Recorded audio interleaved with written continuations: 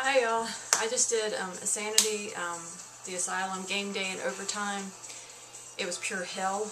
I didn't know a trip to hell could be so much fun. It's got all kinds of great stuff in it. Baseball, basketball, tennis, soccer, swimming, um, all, all kinds of stuff. Every sport you can think of is in there. Football.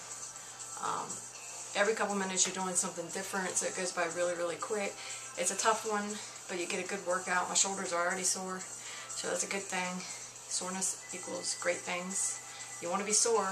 If you're not getting sore, then you're not really doing as much as you should be. Um, so if you haven't tried out Asylum, you really should. I think you would enjoy it. I keep saying it, but it is a lot of fun. I mean, it's hard, but it is a lot of fun.